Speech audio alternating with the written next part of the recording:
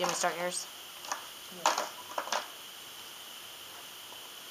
Hey, y'all. Say hey, Miss. Hi, guys. Okay. Oh, yeah.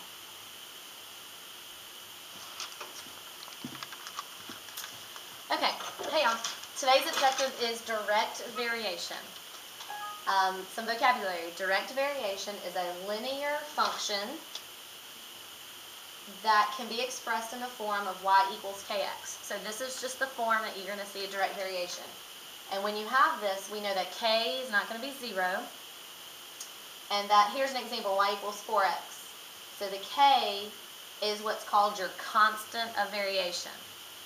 And that's the non-zero constant in the form of y equals kx. So in this example, the 4 is your constant of variation.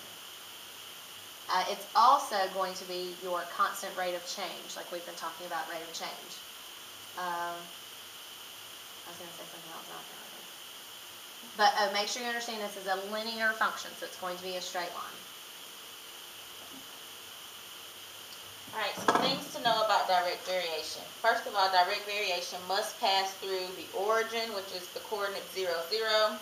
So if you see it on a graph, your graph always has to go through your origin or the middle.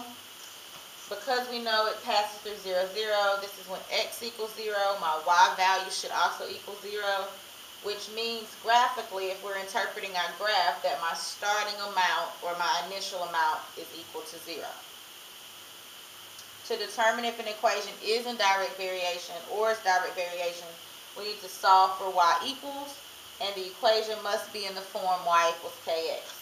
So this means that if you have something with a plus or a minus out here, then that is not going to be a direct variation if it has a plus or a minus out here.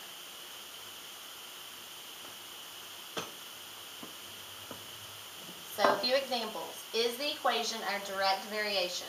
If so, find the value of k. We're going to find the constant of variation. So in the first example, it doesn't start out with y equals, so we need to solve for y. This is when you would use your literal equations um, lesson from last unit. We need to get y alone, so I need to move my 5x over by subtracting 5x from both sides. And now I get 2y equals negative 5x, because 0 minus 5x is going to be negative 5x. I still need to get y by itself, so I'm going to divide both sides by 2. And y equals negative 5x over 2. This, the question says, is the equation direct variation? Yes, it is, because it's in the form of y equals kx. And my k, my constant of variation, is going to be negative 5 over 2. That value in front of the x. Okay, the second problem, we have 3y plus 4x equals 8. So again, we want to solve for y. So we're going to subtract 4x on both sides. And you end up with 3y equals 8 minus 4x. We can't combine 8 and 4x because 8 doesn't have an x with it, so it's not like terms. The last thing you want to do is divide by 3. So you end up with y equals 8 over 3 minus 4 over 3x. Now, the form for direct variation is y equals kx, where you're not adding or subtracting anything. But here, we have the 8 thirds, so this is not a direct variation.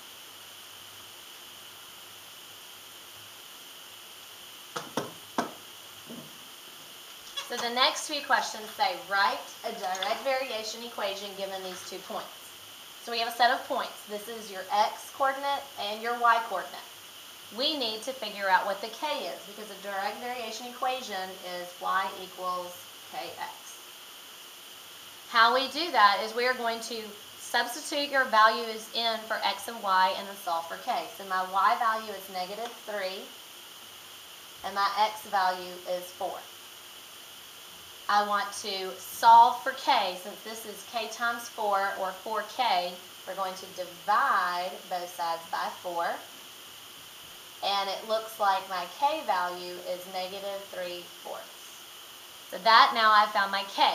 I, I can't stop. I mean, I can't, I'm not done because the question says write an equation.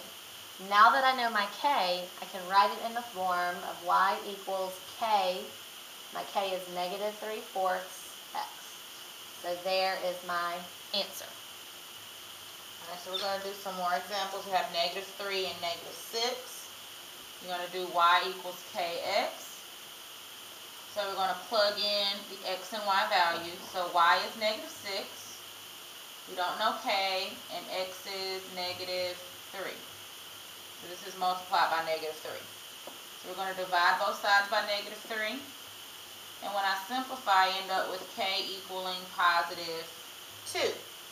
So again, remember what Ms. Hantla said. You need to write it in y equals kx. So you're going to plug in k here. So you end up with y equals 2x. So maybe, I just want to show you one more thing. Maybe you've realized that when you substitute y and x in, you're going to every time divide by x.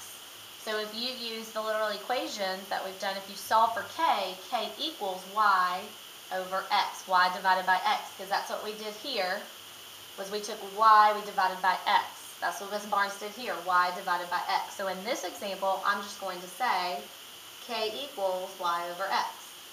When I do that, I substitute my y and my x so this is 1 over negative 6, which can be written as negative 1 sixth. And in my equation, I just simply put my k in.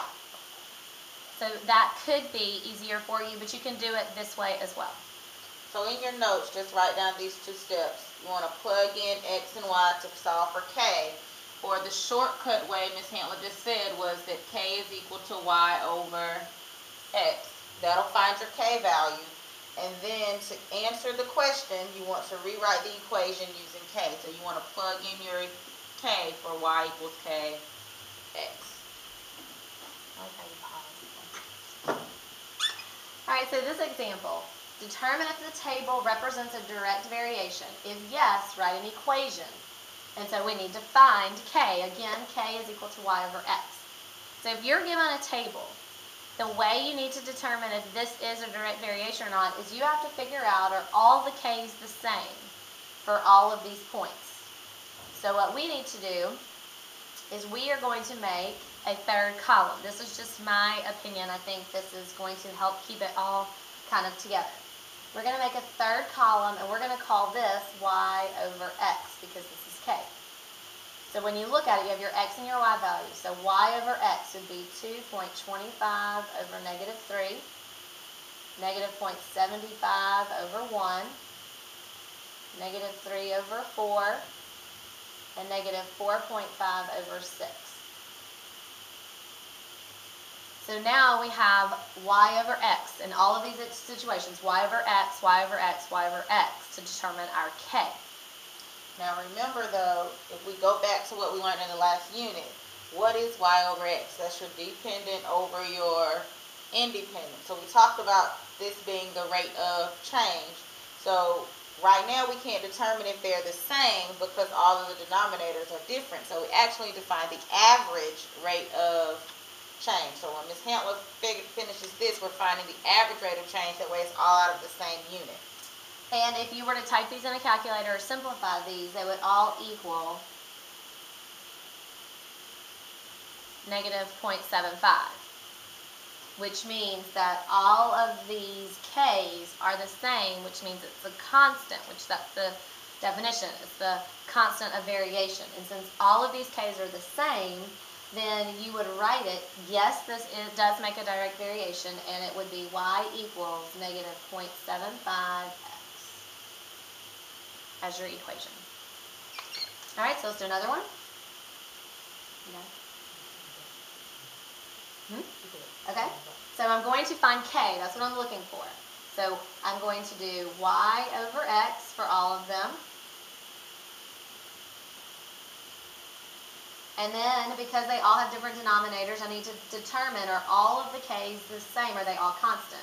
So a negative 1 half, 1 fourth, 1 half, 1 half.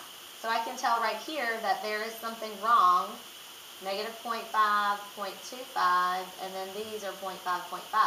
So the answer is no, this is not a direct variation because my K is not constant. I don't have the same K going throughout. So let's tie this all in. What this means is that our graph is not changing the same way. If we were to graph these points, it's not going to make a straight line through the origin because the rate of change is not the same every time. Constant means it has to be the same every time. So let's do some applications, some word problems. Alright, so the first one is y varies directly with x. If x equals 3 and y equals 2, we want to find the y value when x equals 6. Now, there's a shorthand way to do this. If we know something varies directly, we can write a proportion. Di varying directly means it's y over x. So you can solve it by doing a proportion, y over x equals y over x. So what is the y value in the first thing? It's 2 over 3 equals, we don't know y, over 6. So 2 times 6, we're going to cross multiply. It's 12 equals 3y. And then you just solve for y by dividing by 3. So y is going to equal 4. Alright, the amount of money raised at a fundraiser varies directly to the number of attendees. So again, we have that phrase, varies directly with the number of attendees. That should make sense. The more people that come, the more money you're going to raise. If five people raise $100, how much money can be expected if 60 people attend? So Miss Barnes is writing in to kind of help you. When we're talking about um, X and Y values, you're going to go back to what you learned about independent and dependent. The independent, the X value, the X axis is going to be the number of people. The number of people is going to determine the money raised. The money is dependent upon the number of people. So we can do another proportion because it is directly varies. And it says if five people, so this is our X, so if five people raise $100, then how much money can be raised if 60 people attend? Um, so you could set up and solve that proportion, 6,000 divided by 5.